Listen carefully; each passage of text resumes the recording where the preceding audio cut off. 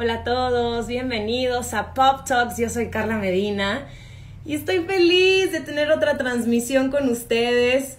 Hoy va a ser un martes súper especial. Vamos a estar dialogando con Eric Heiser. Nos va a estar contando acerca de este gran proyecto que se estrena el día de mañana. Así que los invito a que empiecen a poner todas las preguntas que tienen para él, porque vamos a estar dialogando también con ustedes. Va a ser así como un pimponeo de preguntas y lo vamos a pasar súper bien. Veo que Eric ya se conectó. Hola Alex, hola a todos los que se están conectando. Y les quiero decir que eh, los invito a que se descarguen la nueva app de eVideo News. Está increíble, es totalmente gratis, funciona para iOS y para Android. Y cuando ustedes tienen esta app, les llegan notificaciones de noticias del entretenimiento para que estén al tanto de noticias de la realeza, de las Kardashians, de moda, de fitness y de mucho más. Entonces, les recomiendo, yo me la acabo de descargar hace unos minutos y estoy maravillada y Video News. Y ahora sí vamos a comenzar. Hola Eric, ya te vi, ya te vi. A ver, transmitir. Me encanta esto, poder transmitir desde la comodidad de nuestro hogar y compartir con ustedes. De verdad que es algo que me ha encantado esta cuarentena. Hola. Eh, ¿Cómo estás, Carla? Muy bien, ¿y tú? Muy bien, qué emoción poder platicar contigo qué emoción. Yo siento que después de estos días en los que eh, hemos estado más en casa, que hemos compartido más con nuestros seres queridos, pero hemos dejado a lo mejor de salir, de conectar con otras personas, esto es como un regalito, ¿no? Decir, ay, sí puedo, me puedo conectar así, puedo mínimo platicar y compartir. Sí, es súper bonito poder platicar con alguien y, usar las, las redes, ¿no? Y la tecnología para, para las cosas que importan, para, para construir, para acercarnos a los nuestros. Eh, de verdad que qué bueno que tenemos tecnología porque si no sería mucho más complicado. Así es, cuéntame dónde te encuentras ahorita, en qué parte del mundo, estás en México, en dónde estás.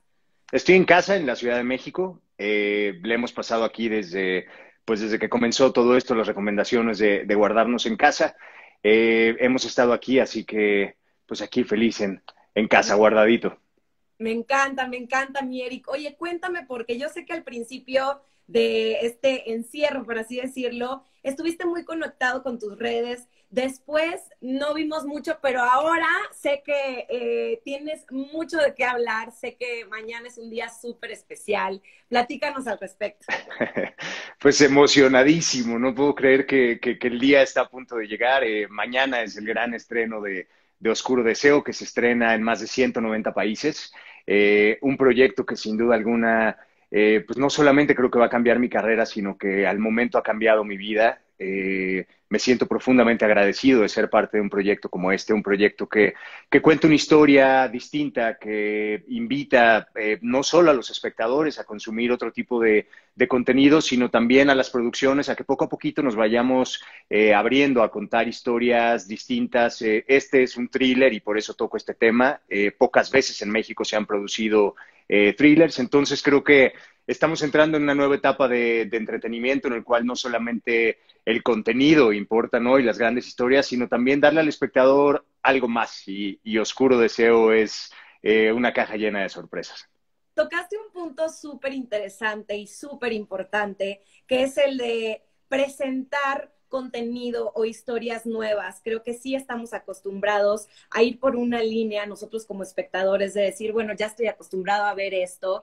Y, cuéntame, cuando leíste por primera vez este guion, ¿qué dijiste? O sea, sí pensaste, esto va a cambiar, esto va a revolucionar un poco la manera de contar historias, cuando menos en nuestro país pues lo primero que dije es lo hago, así de tengo que hacer este proyecto. De, yo me encontraba en una etapa en la que eh, venía saliendo de un proyecto que fue muy demandante y necesitaba descansar porque estaba exhausto, eh, por salud mental y por salud eh, física también.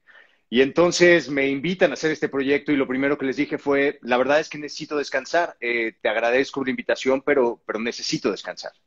Y Ana Vega, que es la, la directora de casting de Argos, que aparte es una, una gran amiga, eh, Ana me dice, Eric, por favor, lee este, este proyecto. Te voy a mandar los tres primeros capítulos. Solamente léelos y si, si de plano, este, después de leerlo sigues muy cansado, ¿no? Este, pues respeto por completo tu decisión. Y entonces los envió y yo estaba literal tirado en mi sofá. Eh, y en cuanto llegaron, agarré mi iPad, abrí el iPad y comencé a leer los, los capítulos. Y no pude parar, desde que comencé no pude parar hasta haber leído el tercero y me quedé con ganas de mucho más. Y en ese momento tomé el teléfono, le llamé a Ana y le dije, Ana, ¿dónde firmo? Yo sí o sí tengo que hacer este proyecto. Me pareció una historia eh, no solamente que te atrapa desde un inicio, una historia eh, distinta, una historia en la que todos los personajes son no tridimensionales, son como una cebolla a la cual le puedes ir quitando capas y capas y capas e ir descubriendo cada vez más acerca de los personajes. Eh, una historia llena de sorpresas, un lugar, eh, una historia que presenta también a, la mujer, eh, a una mujer entera, a una mujer dueña de sí misma, o en general mujeres dueñas de sí misma, mujeres que toman decisiones. y eso me llamó muchísimo la atención, que, que presentara mujeres empoderadas eh, sin tener que minimizar también el papel de los hombres en esta, en esta historia. Eh, una historia creo que muy equilibrada, una historia eh, de verdad fascinante. Entonces, no puedo estar más emocionado. Dices, ya, ya mañana es el gran día y, y creo que me brillan los ojos y me emociono cuando lo digo porque de verdad es, es un día importante se te nota la emoción y me encanta porque siempre ha sido así, siempre ha sido muy transparente y es algo que me encanta de ti, de tu carrera y, de cómo te presentas también en las redes, que muestras, eh, no muestras un personaje, muestras a Eric y eso está increíble. Mencionaste dos cosas súper cool. Primero mencionaste a Anita Vega, que es lo máximo, y quería como tocar este tema porque qué importante es rodearte de estas personas que te conocen y que además te, te, aconsejan en este proceso. ¿De qué, ¿De qué proyecto venías? ¿De Los Miserables, de Ingobernable? ¿Cuál era el que te tenía así un poquito más desgastado? Preso número uno. Ah, preso número uno. Que fue de verdad desgastante. Sí, sí. Pero bueno, ese, ese, es otro tema, ya, ya lo platicaremos. Sí, ya lo, ya lo platicaremos más adelante, pero qué increíble y qué padre si ella no lo hubiera puesto, o sea, cómo las cosas son perfectas y tenía el ojo para ti. Entonces es, es increíble cuando eso sucede y esa magia sucede que alguien dice, es que yo leí esto y estoy segura, segura que le va a gustar porque lo conozco, porque conozco su trabajo, porque sé por dónde va. Y hay, hay, una, hay algo mágico que tienen las, las verdaderas directoras de casting, que es eh, ponerte en un papel en el que quizá jamás te hubieras imaginado estar. Eh, y eso fue lo que más me gustó, que me invitó a retarme a mí mismo. Me estaba invitando a construir un personaje que es 10 años más grande que yo, eh, que me obligaba a tener una serie de transformaciones tanto internas como, como externas y que definitivamente considero que es uno de los retos más grandes que he tenido en, en mi carrera, sobre todo por el momento en el que me encuentro y, y porque creo que hoy en día tengo estas ganas de, de jugar, de seguir explorando y de verdad no me importa probar nuevas cosas y saltar al vacío independientemente de que las cosas salgan bien o no. Eh, y creo que eso también es muy valioso. Eh, me considero una persona que, le gusta asumir riesgos, que me gusta incomodarme constantemente para, para salir de mi zona de confort y, buscar nuevas cosas y seguir creciendo. Y este proyecto representa todas esas cosas que, que quiero y que amo en la vida. Además, el segundo punto que tocaste, que me parece interesantísimo, y lo agradezco muchísimo como mujer, como actriz, como profesional, como persona. Eh, el que tú hayas tenido esa sensibilidad de percibir estos personajes al igual.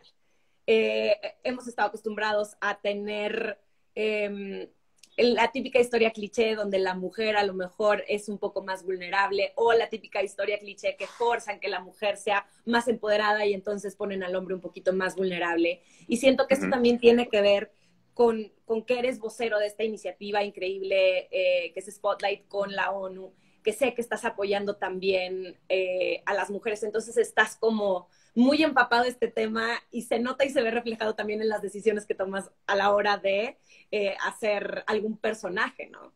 Definitivamente, creo que hay muchas cosas que están cambiando en el mundo para, para bien, creo que estamos sembrando una nueva conciencia que que los jóvenes estamos asumiendo papeles en los que decimos hay que cambiar las cosas y hay que dejarle un, mejor mundo a las generaciones que vienen. Eh, un mundo en el que pues, estamos comenzando a romper con, muchos estereotipos que, eh, y con muchos eh, mensajes que han sido sembrados en nuestro ADN durante cientos o, o quizá este, miles de años y que tenemos que cambiar. Y sí, justamente me enorgullece mucho poder ser vocero de una, de una iniciativa como, como Spotlight, que justamente está buscando eh, erradicar todo tipo de violencia en contra de las mujeres y las niñas, no solo en México, sino en Latinoamérica y, y el mundo. Eh, hay un enorme trabajo por hacer. Yo siempre digo que el trabajo eh, comienza, un, comienza en uno. uno no puede querer que las cosas cambien hacia afuera sin, sin trabajar primero en uno, ¿no? Y yo personalmente trabajo todos los días para eliminar todos esos mensajes eh, y todas esas conductas que quizá fueron sembradas en, en mí y que hoy entiendo que no, que no me ayudan a vivir y que no me ayudan a construir una sociedad mucho más equitativa, mucho más eh, igualitaria en todos sentidos. Eh, entonces, bueno, yo trabajo en mí, me enorgullece muchísimo trabajar en esto y creo que pues es momento de que digamos basta, basta todo tipo de violencia y es momento de que la mujer eh, recupere el primer. Perdón, me entró una llamada con todo y que le puse nocturno, cosas que pasan de la vida. Cuéntame porque justo hace, hace unos unos meses, se puede decir, estuve hablando casi al principio de la cuarentena con Alex Spacer y él también estaba muy emocionado porque decía, se me dio la oportunidad de hacer un papel que nunca antes podía haber hecho, ¿sabes? O sea, esa, eh, esa versatilidad de, de, poder hacer algo totalmente distinto y eso me encanta. ¿Ya habías trabajado con Alex? ¿Ya habías trabajado con Maite en otros proyectos? ¿Habían coincidido todos? No, es la primera vez que trabajo con, eh, pues con prácticamente todo el elenco. Eh, nunca había trabajado con Maite, nunca había trabajado con Alejandro Spacer, nunca había trabajado con Jorge Poza, ni con Regina Pavón, ni con María Fernanda Yepes. Eh, entonces es maravilloso encontrarme con ellos. Son actrices y actores con los que yo tenía muchas ganas de trabajar. En el caso de, eh, de Alejandro Spacer, yo llevaba muchos años siguiendo su carrera de cerca, diciendo, qué chavo tan talentoso, ¿no? Es de estos jóvenes que viene pisando muy fuerte, que, eh, que se arriesga a contar historias distintas, que, que busca no solamente entretener, sino, sino sembrar un mensaje distinto a partir de, de, lo que hace. Y tenía muchas ganas de trabajar con él. Por ahí estuvimos cerca de trabajar hace tiempo en una obra de teatro, pero no, no, no logré este, hacerlo. Y moría de ganas de trabajar también eh, con Maite. Eh, nos habíamos conocido, pero pues nunca habíamos coincidido. Y lo mismo con Jorge Poza, a quien amo y admiro, y con Regina. Creo que de verdad esto en todos sentidos ha sido una oportunidad de vida este, hermosa. Coincidir con ellos es, es de verdad una de las mejores cosas que le han pasado a mi vida y a mi carrera. Y es que es increíble porque ya sé que se conocían y por eso me atreví a preguntar si habían trabajado juntos o no, porque no lo recordaba. Pero luego pasa que los conoces, son incluso tus amigos y tienes esas ganas y de repente se da esta magia, se da este proyecto y dices, bueno, ya, por fin se nos da la oportunidad y también conoces a estas personas desde otro, desde otro perspectiva, desde otro punto de vista, como compañeros de trabajo, que también es distinto, ¿no? Sí, puede sonar de verdad clichésoso, pero eh, lo que sucedió en Oscuro Deseo es, es algo que voy a recordar por siempre. No solamente trabajé con, con estos grandes actores y actrices, sino que formamos una familia. Eh, yo no creo que la serie hubiera sido eh, posible ni se hubiera logrado lo que se logró si no hubiéramos eh, formado este equipo que de verdad fue tan y tan sólido que, que, nos convertimos en hermanos. O sea, creo que después de este, o sea, después de, que terminamos de filmar, nunca había visto a tantos compañeros de trabajo este, en los meses subsecuentes. Y acá nos reunimos cada vez que podemos. hemos hecho reuniones por Zoom también porque nos extrañamos y lo que se, lo que se construyó de verdad fue, bueno, fue hermoso y creo que eh, la química y el resultado lo podrán ver a partir de mañana en, en Oscuro porque se, se ve. ¿Eres de los que sí ves literal el proyecto como audiencia normal? Porque yo, yo sé que una cosa es trabajar en un proyecto y al final del día, eh, pues no estás a lo mejor enterado de cómo es el resultado final. Si te sientas a ver literal con palomitas tus, tus propias series.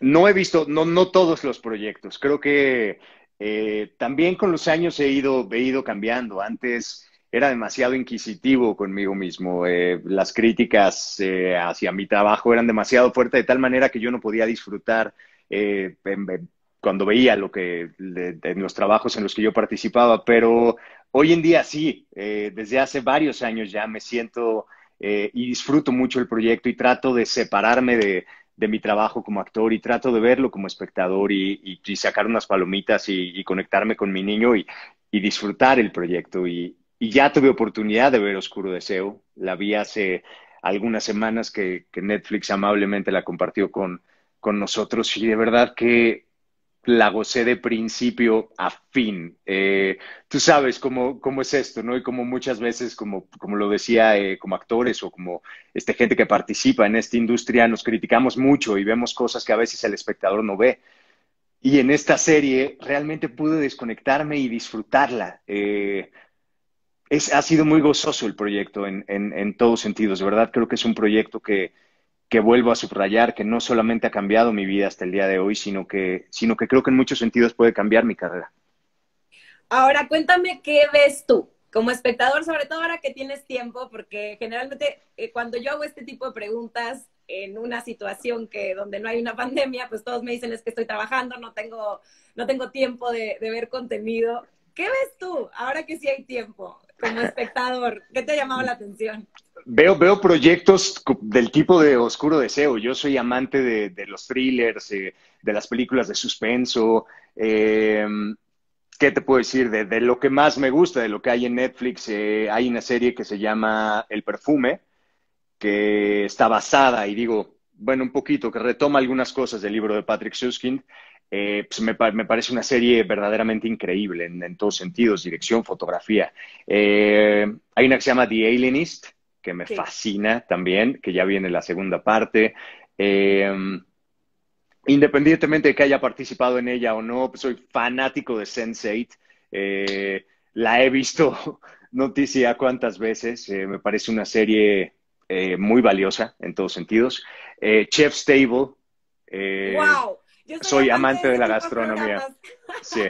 Creo que lo que más veo son programas de cocina en, desde, en las diferentes plataformas de streaming. Eh, Chef's Table, hay otro programa que se llama, eh, creo que The Chef, que este, sale John Favreau y Roy Choi, este, que es un chef increíble y tiene un programa que salió después de una película. Y bueno, me encanta porque ves a la gente cocinando casual en su casa, ¿no? Y tienen diferentes invitados, a Gwyneth Paltrow, este, a diferentes actores, ¿no? y los ves haciendo algo que yo considero un arte, que es eh, la gastronomía. Yo neto soy amante de, del, del, buen comer, este, me la paso cazando nuevos restaurantes y voy también, este, cuando se me da la oportunidad por el mundo, este, buscar, siguiendo a diferentes chefs y diferentes restaurantes, porque no hay cosa que más disfrute que sentarme a comer en un, en un buen restaurante. Creo que son de las cosas que más me duelen de todo, de todo esto que ha pasado.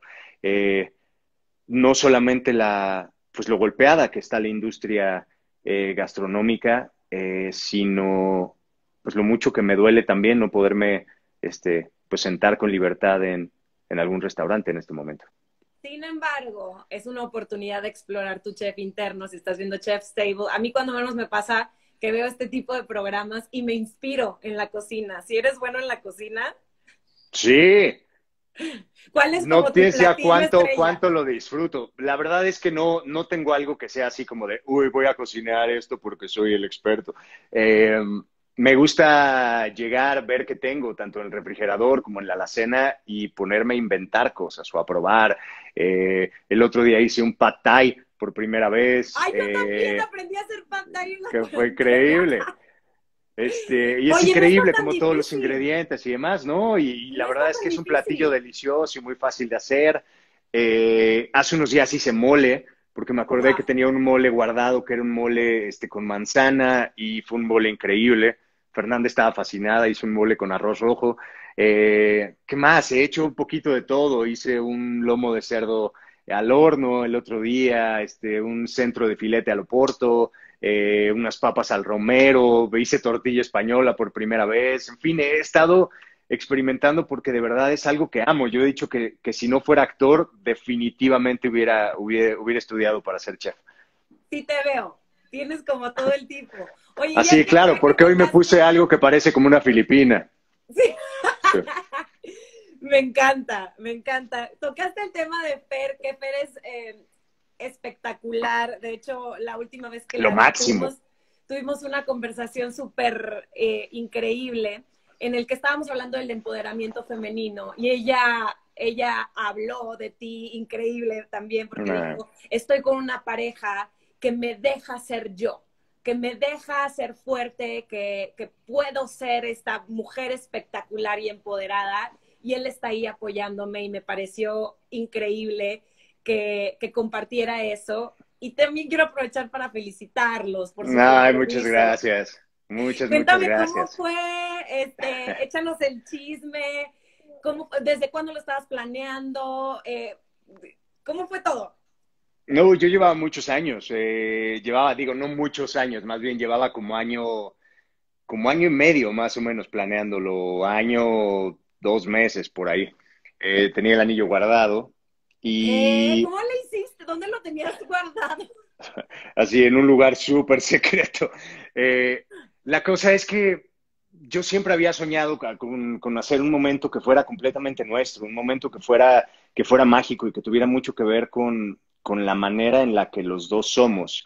Eh, yo jamás me imaginé hacer algo como, uff, en un restaurante o con fuegos artificiales y porque creo que ambos, ambos creemos que, que, las cosas más simples de la vida están, eh, digo, que las cosas más bellas de la vida están en, en, las cosas simples. Entonces, eh, la verdad es que creo que no encontré mejor momento y algo más íntimo y algo verdaderamente inolvidable que hacerlo aquí, en, en cuarentena, en casa, y poder entregarle algo que ambos consideramos que es eh, el símbolo de nuestro compromiso. Eh, nunca hemos soñado con, con, casarnos y hacer una gran boda, em, pero sentimos que, que, este, que, tenemos un compromiso de vida desde el día que comenzamos con esta relación y lo platicamos muchas veces. Y yo como soy un tipo chapado a la antigua, independientemente de que queramos o no queramos boda, eh, yo quería encontrar algo en donde pudiera eh, depositar este compromiso y que pudiera materializar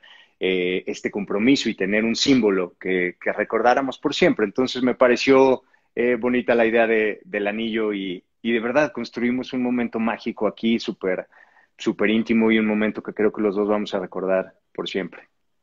Y justo cuando hablé con, con Fer, alguien le preguntó, porque estaba yo en una alfombra roja y antes de que pasara conmigo escuché que le preguntaban, pero ¿cuándo? ¿Y cuándo vas a ser mamá? ¿Y cuándo se van a casar?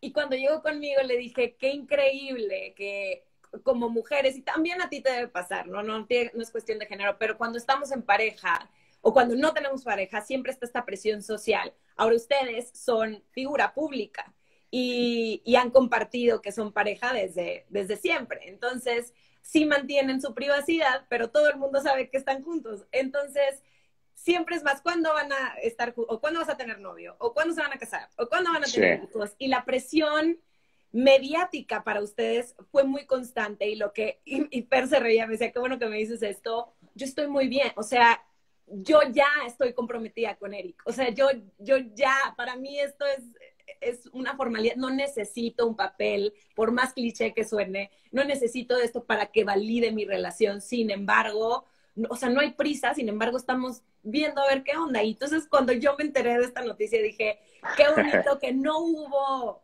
esta presión que ustedes vivieron a su momento.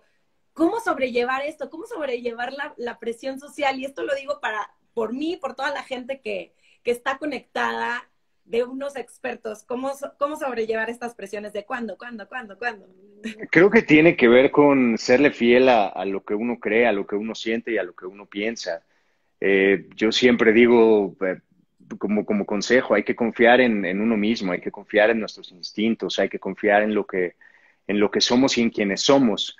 Creo que cuando eres seguro de ti eh, y seguro también de la pareja que tienes, que tienes al lado, pues no hay, no hay ruido que pueda afectar absolutamente nada, ¿no? Y en nuestro caso, eh, pues siempre hemos tenido conciencia de que ambos somos figuras públicas, eh, pues de que tenemos una relación muy bonita y que el espectador también quiere, quiere saber siempre más, pero también consideramos que hay lugares sagrados eh, y hay cosas que se deben quedar en, lo privado. Entonces hay muchas cosas que tampoco nosotros eh, compartimos, no somos de, de, estar posteando fotos juntos de todo lo que hacemos, ¿no? Y de lo felices que somos, porque creo que hay cosas mucho más importantes eh, las cuales comunicar. Como te decía, te, creo que tanto a Fer como a mí nos gusta usar las redes para, para construir, no solamente para entretener. yo no uso mis redes para para este, bailar y entretener al espectador y ser este, una figura pública cercana a la banda, ¿no? Yo uso las redes para comunicar lo que considero que es importante y para, para construir eh, trabajando en equipo. Em, y entonces creo que cuando, cuando de verdad tienes muy claro lo que quieres y tienes muy claro lo que eres, eh, pues no hay, como te decía, ruido que pueda interponerse o barreras que puedan interponerse eh, o que puedan venir a afectar este, pues tu paz o nuestra paz, ¿no? Eh, nosotros lo, hemos dicho de verdad muchas veces, tenemos una relación eh, muy sólida porque respetamos la individualidad del otro, porque somos una pareja que decidió avanzar hacia el mismo lado, pero cada uno avanza también en su propio carril de aprendizaje eh, y nos vamos, nos vamos jalando de repente de la mano, ¿no? Y de repente uno va y explora una cosa y el otro va hacia el otro lado y nos volvemos a encontrar. Creo que eh, de eso se trata la vida. Somos individuos que deciden todos los días estar, estar juntos. Y eso, eso es mágico porque la relación ha sido fascinante desde hace seis años. Todos los días decidimos que está increíble estar juntos y nos la pasamos renovándonos y, reconstruyéndonos en, pues en lo personal y en pareja también. Qué bonito. Escuchar eso me, me, da como esperanza en el amor. llega, de verdad, llega, llega cuando menos te lo imaginas. Eh, llega, llega y, llegará cuando tenga que llegar. Yo creo que una de las eh, cosas más importantes para que una pareja funcione es que haya una admiración mutua, no en el lado del fanatismo, sino en el de, híjole, me encanta esto que haces, soy, este, soy muy, eh, pues, fan de tu trabajo, ¿sabes? ¿Cuál es tu proyecto favorito de Fernanda? Creo que por, por, todo el proceso que vivió y por la cantidad de cosas que, que se movieron, tanto personal como, como profesionalmente, eh, durante el proceso en el que estaba filmando Dulce Familia, eh, es uno de los proyectos que, que, creo que más nos han enseñado eh, y que creo que más le han enseñado a Fer, no solamente en lo personal, sino también a nosotros como pareja. Cuando tienes que transgredir tu cuerpo para, para poder construir a un personaje, ¿no? Esta decisión que tomó Fer de subir tantos kilos eh, para, para, poder hacer este personaje y todo el proceso de aprendizaje que vivimos a raíz de esa construcción de personaje fue de verdad maravilloso. Es eh, un proyecto que recuerdo con mucho cariño, eh, aparte porque me permitió a mí no solamente hacer como nuevos compañeros de trabajo con los que este, estoy construyendo cosas y vienen nuevos proyectos, sino también eh, amigos de vida y haber viajado a Chile y haber estado en la isla de Pascua, eh, creo que nos, nos, cambió también la vida a ambos y es uno de los lugares que, recordamos con más cariño. Entonces, eh, creo que ese, ese es uno de mis proyectos favoritos. Pensé que me ibas a decir ese porque, porque fue un proceso psicológico también, ¿sabes? Y, y, tú como pareja estar ahí acompañándola de que yo sé que, que Fer siempre ha sido una mujer que, que cuida muchísimo eh, su alimentación, su, su ser, eh, es una persona que está muy centrada. Entonces, el, el transformarte y el ver cómo te vas transformando y reconocerte y verte también en el otro personaje, no debió haber sido nada fácil. Entonces, qué padre contar con esta complicidad y tener, tenerse el uno al otro, ¿no? Y tener oportunidad también de, decirle a la gente, eh, hoy, hoy en día eh, los medios, ¿no? La publicidad eh, y las redes sociales presentan constantemente estos cuerpos perfectos, ¿no? Y estas personas bellísimas y con siete filtros, ¿no? Y, y, es importante decirle a la gente que el estándar de belleza está en otro lugar, que, que, que, que la perfección humana no existe, que somos perfectamente imperfectos y esa es la magia de, la vida y que no tenemos por qué estarnos preocupando por eh, cómo nos vemos o qué tantos músculos tenemos o qué tanta grasa abdominal. Creo que hay que, hay que disfrutar la vida y, y, a construir las cosas que son verdaderamente importantes, que tienen que ver con, con nuestra mente y con nuestro corazón. ¿no? Y ahora, para cerrar, voy a cambiar la pregunta. Para ti, ¿en qué proyecto o qué personaje fue muy especial tener a Fer de tu lado y que te apoyara por el proceso que tuviste que vivir en ese proyecto? Lo primero que me viene a la mente es en todos. Eh, siempre, está, siempre está conmigo en, en, en, todos. Eh, creo que vuelvo a Oscuro Deseo.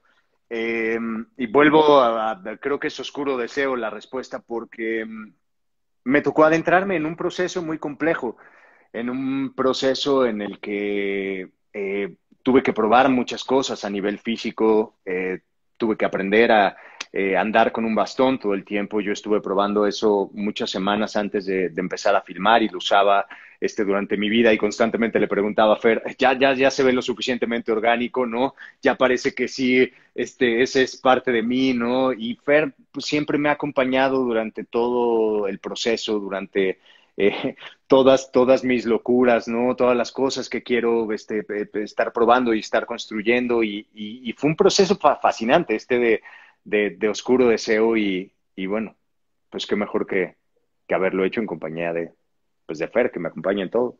Qué bonito. Eh, cuéntanos un resumen breve para lo, lo, que vamos a poder ver el día de mañana ya en Netflix con Oscuro Deseo, porque yo ya he leído la pequeña descripción que, que, han estado publicando, pero quiero saber un poquito más. Adelántanos lo, lo algo, o sea, déjanos la pregunta. Sí. Eh, si, si, quieren verlo, pueden ver los primeros 13 minutos en la cuenta de Maite o en la cuenta de Regina Pavón o en la cuenta de Muy Netflix. Están los primeros 13 minutos. Eh, yo no pude subirlos porque hubo una complicación ahí con, eh, con Instagram que bajaba mi video y bajaba mi video porque decía que no tenía los derechos para subirlo, pero bueno, en lo que lo arreglan pueden visitar la cuenta de arroba muy Netflix o de Maite Perroni o de Regina Pavón y ahí pueden ver los primeros, los primeros 13 minutos y pueden esperarse cualquier tipo de sorpresa. Y lo que verán mañana es la historia de una mujer que eh, durante un fin de semana en el que va eh, a ver a una amiga que, que, acaba de divorciarse y va a acompañarla durante este proceso, eh, deciden salir de fiesta y en esa fiesta conoce a Darío Guerra, eh, que es el personaje que interpreta al Spacer. Eh, tienen una noche de pasión desbordada y después de esa noche Alma regresa a la Ciudad de México a tratar de olvidarse de eso que sucedió, pero pues fue tal la pasión y la emoción que vivió que no se puede desprender. Y en ese momento se da cuenta que no solamente compartía una noche de pasión, sino que comparten muchas cosas de su pasado. Y en ese momento empiezan a salir todos los secretos y se empiezan a conectar con todos los personajes. Y ahí es donde entro yo, que soy un ex policía que ahora eh, hace trabajos como investigador privado. Y de alguna manera Esteban, que es mi personaje, se encarga de reunir todas estas piezas que van conectando a, a todos los personajes. Eh, con sus oscuros deseos y no siempre los conecta. Eh, bueno, ya la verás. Ya la verás. Ya la verás. Mañana la verás. Nos dejaste enganchados, Eric. Gracias por tu espacio, gracias por tu tiempo, por tu trabajo. Eres un excelente actor, pero sobre todo eres un excelente ser humano. gracias por compartir y nada, espero vernos muy pronto y y nos veremos en la boda. Venga, si, si se hace ya, ya, ya te estaremos avisando, le estaremos avisando a todo el mundo. ah, muchísimas gracias. Podría quedarme aquí platicando contigo toda la tarde. Gracias por este espacio y gracias a toda la gente que se conectó. Eh, hemos estado tan clavados en la, en la, en la plática que no, no he estado comentando eh, la cantidad de mensajes que hemos recibido, la cantidad de este, de cosas lindas que nos dicen y, bueno, le agradezco al público que es por el público que, eh, pues que hago lo que hago, ¿no? Y que, estoy en donde estoy, así que mi agradecimiento siempre a, toda la gente que nos sigue. Muchas gracias, Eric. Nos vemos muy pronto. Nos vemos mañana. Nos vemos mañana. Por favor, escríbeme a ver qué te pareció. Cuando la veas, cuéntame que, que, tengo de verdad mucha, mucha emoción por saber qué, pues, qué piensa toda la gente. Te lo prometo que sí. Gracias, Eric. Hasta luego. Chao, bonito día. Bye. Pues gracias a todos por conectarse. Les prometo que este live va a quedar guardado, va a estar en el IGTV de Online Latino y también van a poderlo disfrutar próximamente en el YouTube oficial de eOnline Latino. Les recuerdo, vayan por favor a descargar totalmente gratis la app y Video News para que les lleguen notificaciones diarias con todas las noticias del entretenimiento más increíbles. Quieren saber qué onda con la realeza, con las Kardashians, con la moda, con fitness y mucho, mucho más. Vayan y descarguen eVideo News totalmente gratis, disponible para iOS y para Android. Gracias a Maite Perroni Lovers, a Sony Vaz, Erival desde Ecuador. Eh, también vi que estaban en Guatemala, Magali, Sirli y todos los que se conectaron. De verdad les agradezco. Nos vemos a la próxima en otra Pop Talks.